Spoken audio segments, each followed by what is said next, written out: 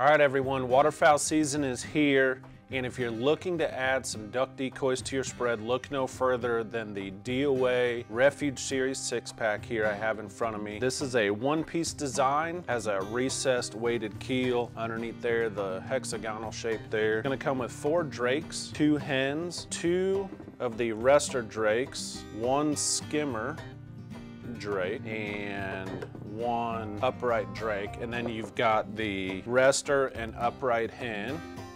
Rotate them around there for you so you can see that. I do like the detail on the bodies. You don't get a lot of shine, so if you're worried about flaring the ducks with the shine, you don't have to worry about that. Just such an awesome decoy. If you're looking to add to your spread or get into a new decoy, check out the DOA Refuge Series 6-Pack.